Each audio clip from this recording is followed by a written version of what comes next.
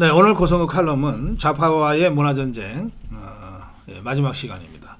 1차 10번으로 이 좌파와의 문화전쟁 시리즈를 예, 마무리할 생각입니다. 오늘의 주제는 종북 주사파 문화진지를 해체하라입니다. 어제 오늘 여러분들 다 이런 기사 보셨을 거예요. 권혜효라는 배우가 있어요. 권혜효라는 배우가 조선학교와 함께하는 사람들 몽당연필이라고 하는 무슨 시민단체를 만들어가지고 조총련과 접촉을 무단으로 했다. 이게 조총련은 북한과 연계된 예, 이적단체고 따라서 조총련과 어, 만나려면 사전에 통일부에게 접촉 신고를 해야 됩니다. 그런데 뭐 일본에 놀러 갔는데 어쩌다가 말을 섞었는데 한국 사람 같아서 그런데 알고 보니까 조청년이었다. 이런 경우가 있잖아요. 그럴 경우에는 사후 신고를 해야 됩니다. 가서 이렇게 이렇게 했는데 이렇게 만났는데 알고 보니까 조청년이었습니다. 하고 사후 신고를 하면 돼요. 그런데 이 권혜효가 아, 이끄는 이 몽당연필이 조청년과 어, 여러 차례 만나서 공동 작업도 하고 그러면서도 통일부에 사전 신고를 한 적도 없고 어, 사후 신고를 한 적도 없다고 합니다. 그래서 미신고 접촉으로 어, 통일부의 서명 경고도 받고 후속 조치도 취소됐어요. 그리고 경위서도 통일부가 요구했습니다. 비슷한 일이 지난번에 그 윤미향 어, 윤미향이가 사전 접촉 신고 없이 조총련 행사에 참석했다는 이유로 통일부가 신고 의무 위반 과태료 부과 절차를 지금 진행 중이거든요. 자, 제가 이 연예인들을 그 쉽게 보면 안 된다. 그 중에 수많은 개념 없는 그 이 종북 연예인들이 많지만 그 중에 몇몇은 아주 핵심적인 역할을 한다. 그러면서 제가 문성근, 명계남,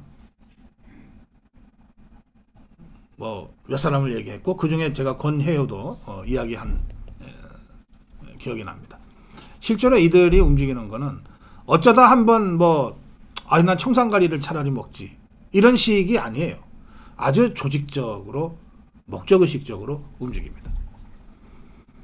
그래서 어쩌다 개념 연예인이 된이 이, 그 연예인들과 또 문화인들과는 달리 목적의식적으로 진지를 구축하고 대중문화 영역에서 좌파 진지 종북 주사파 진지를 구축하고 광우병부터 어, 최근에 후쿠시마 오염수까지를 계속해서 선전선동하면서 어, 김정은의 사실상 김정은의 지령에 따라서 움직이는 이 종북 주사파 문화 진지들을 해체해야 되는 일이 이 문화 전쟁에 있어서 어, 핵심 있다라고 하는 점을 제가 오늘 칼럼을 통해서 어, 말씀드리려고 하는 겁니다.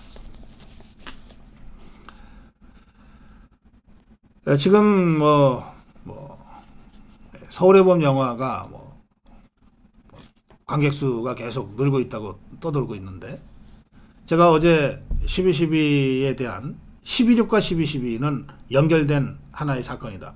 11.6에서 시작돼서 12.12로 종료된 역사적 사건이라고 봐야 된다고 하면서 팩트를 가지고 쭉 제가 재구성해 드렸어요.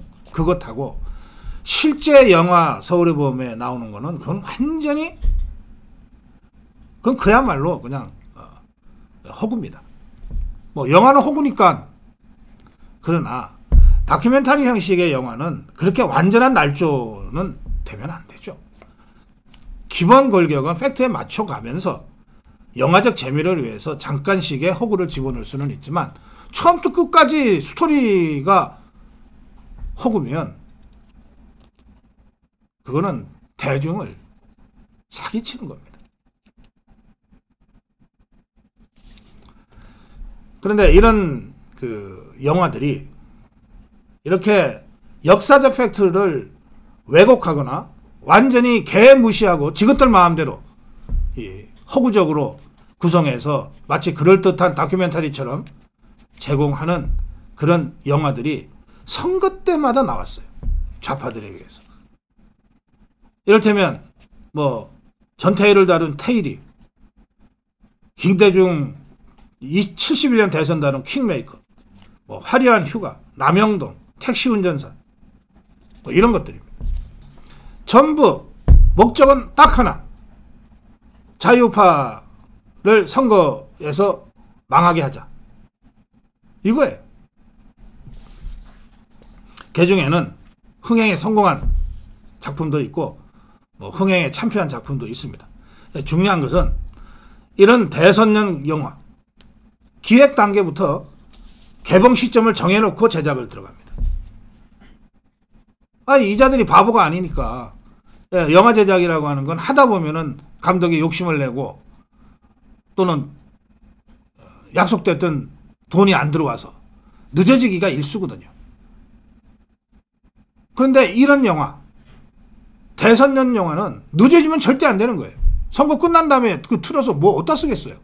처음부터 그런 정치적 목적으로 만들어지는 영화니까 제일 중요한 거는 시점을 지키는 거예요. 딱 지켜놓고 거기에 맞춰서 모든 작업들을 다 해왔어요. 그런데 이 영화들이 실제로는 선거에 별 영향을 못 미쳤다는 게 전문가들의 정설입니다. 영화가 흥, 흥행에 성공했다 하더라도 이것이 직접적으로 대선에 또는 총선에 직접 영향을 미친 경우는 미미하다는 거예요. 그거 왜 그럴까요? 간단해요. 영화가 있으나 없으나 좌파 찍을 자들이 영화를 봤기 때문에 그래요. 나는 원래 자유파 찍으려고 했는데 택시 운전사 보고 내가 마음을 바꿨다. 이런 사람은 거의 없다는 겁니다. 나는 원래 이쪽도 저쪽도 아닌데 영화 보니까 아무래도 저 보수가 자유파가 너무 나쁜 짓을 많이 한 것 같아서 그냥 이번에는 좌파 찍기로 했다. 이런 사람도 거의 없어요. 그런 사람들은 안 찍죠. 그래서 결국은 무슨 얘기가 되냐면 이 대선년 총선용 좌파들이 만들어낸 영화는 두 가지 목적이 있다고 할 수 있습니다. 첫째는 어쨌든 분위기를 만드는 데는 효과가 있어요. 지금도 당장 총선 앞두고 뭐 서울의 봄인지 뭔지가 뭐 막 관객들이 몰린다 그러니까 은근히 좀 겁이 나잖아요. 우리 자유파 입장에서는 아 우리는 왜 저런 영화 없나 그러고 또 상대적으로 저쪽은 종북 주사파들은 야 천만 명만 들어오면 우리가 총선에서 압승할 수 있어. 뭐 이런 햇소리들을 하잖아요. 실제로 서울의 봄의 흥행 돌풍 예, 더불어민주당이 아주 흥분했어요. 흥분했어요. 그래가지고 뭐 천만만 어떻게 하면 그렇게 분위기 띄우는 데는 어쨌든 효과가 있어요. 그런데 그 분위기가 실제 표로 연결되는 건 전혀 다른 차원의 문제다. 이건 냉정하게 볼 필요가 있습니다. 분위기 뜬다고 해서 휩쓸려서 찍을 유권자는 극히 소수다. 두 번째는 그럼에도 불구하고 저 영화를 저런 식으로 총선 대선 앞두고 제작을 해서 관객몰이에 성공하면 제작자들이 돈은 벌어요. 좌익 상업주의죠. 정북 주사파들이 절대 공짜를 하지 않습니다.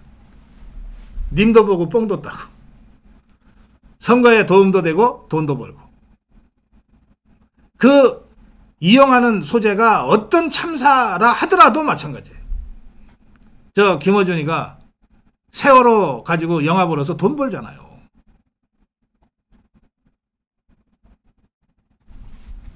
이 종북 주사파들의 이 문화 전쟁은 그런 양태로 어, 전개됩니다. 그래서 겁먹을 건 없어요.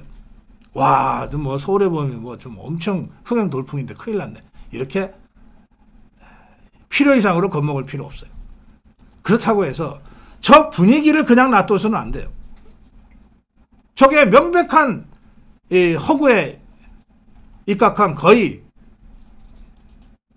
이그 선전 선동에 가까운 이야기인데 저걸 그냥 놔둘 수는 없어요. 그래서 제가 어제 12.12 정론 논평을 어, 한 겁니다. 또 우리 자유파도 하나님이 보호하사 우리나라 만세 하보우만 영화를 예, 이승만 대통령 어, 박정희 대통령의 그 이건 실제 다큐멘터리 제작이죠. 해서 지금 이상호 감독이 지금 작업하고 있지 않습니까? 내년 2월, 3월, 3월 개봉을 목표로 지금 아주 땀을 흘리고 있는 걸로 제가 들었어요. 우리도 그렇게 대응할 건 대응해야 돼요. 또 경계할 건 경계해야 돼요. 그러면서 이런 식의 작업이 어쩌다 한 번이 아니고 지속적으로 선거 때마다 이루어지고 조직적으로 이루어지는 것을 주목해야 됩니다. 뭔가 진지가 있다는 거예요. 배후에 지휘부가 있다는 거예요. 그 배후 지휘부를 찾아서 해체해야 됩니다. 저것들이 수많은 영화를 앞으로도 만들어낼 텐데 그때마다 영화 대 영화를 우리가 싸울 수가 없어요. 그렇게 해서 이긴다는 보장도 없고 그렇게 해서 효과적으로 문화 주도권을 우리가 가져오기도 힘들어요. 저 배후에 도사리고 있는 지휘부, 그 지휘부가 숨어 있는 지하 벙커, 이것을 해체하는 작업을 해야 된다. 이 말씀을 제가 드리는 겁니다.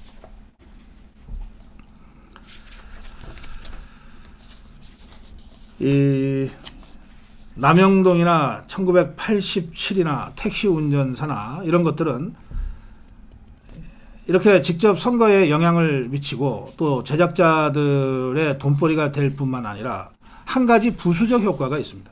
뭐냐? 자기들이 도덕적 우위라고 하는 것을 은근히 과시할 수 있는 분위기 조장이 돼요. 이게 다 자기들이 민주화 운동을 하다가 탄압받은 어, 이야기 뭐 이런 것들이잖아요. 그러니까 이런 영화들을 보면 볼수록 아 어, 지금의 더불어민주당이 참 권위주 시대에 자기 희생과 헌신을 통해서 민주화를 위해서 많이 노력했구나라고 하는 것을 80년대 90년대를 영화로밖에 접할 수 없는 MZ 세대 입장에서는 그렇게 받아들이기가 매우 쉽지 않습니다. 그걸 통해서 이 586들의 이 도덕적 우월 그것을 가슴에 주렁주렁 매달고 다니면서 국회의원질 해먹는 이 586 기득권의 확대 재생산의 토양이 되는 겁니다.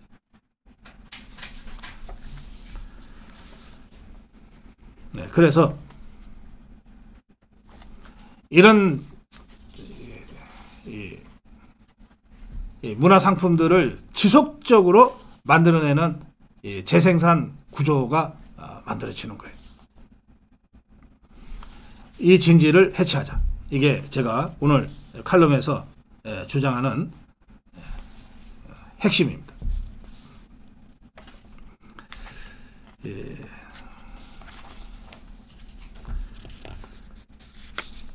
어제 제가 그12.12 논평을 하고 나서 예, 많은 분들로부터 어, 예, 고맙다는 이 메시지를 받았습니다. 그 많은 메시지 중에는 그 문제를 그렇게 용감하게 정면으로 다뤄줘서 고맙다 이런 말씀들이 많았는데 제가 어, 그런 격려의 말씀을 전해주시는 우리 선배 예, 들게 예, 고마우면서도 한편으로는 좀, 예, 좀 서러웠어요. 제가 어제 12.12, 11.6에서 12.12까지는 무슨 제 주장을 뭐 한 것 아니에요. 역사적 팩트를 순서대로 쭉 정렬해서 여러분께 보여준 것에 불과합니다. 그런데 이런 것조차 제대로 하는 사람이 없다는 것 아닙니까? 쉽게 말해서. 그럼 도대체 우리 자유파는 뭐 하고 있는 거야? 국민의힘은 뭐 하고 있는 거야? 하는 좀 예, 오랜만에 제가 참 정치적으로 외롭다, 서럽다는 생각까지 들었어요. 이 명백한 객관적 팩트조차 용기를 내야만이 말할 수 있는 시대에 우리가 여전히 살고 있네. 네.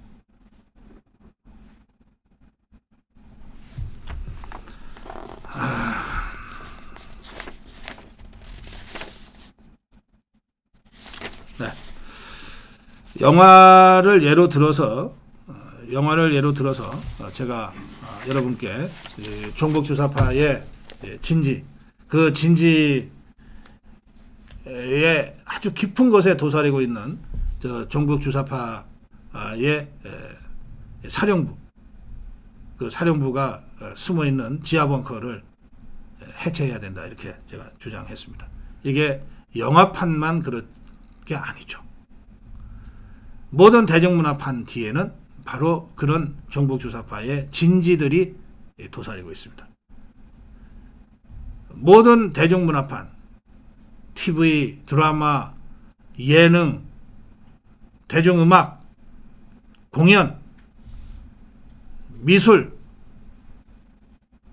영화,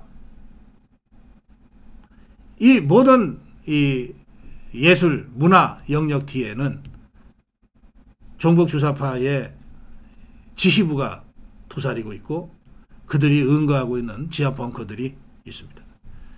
이것을 해체하는 것이야말로 자유파 문화전쟁의 최종적인 승리를 가져올 수 있는 어, 핵심 전장터다. 이 말씀을 제가 다시 드리면서 예, 그동안 열 차례에 걸쳐서 어, 여러분께 보내드린 예, 종북 주사파와의 예, 문화전쟁 예, 예, 시리즈를 1차 어, 마무리하겠습니다. 예, 고성국 칼럼이었습니다.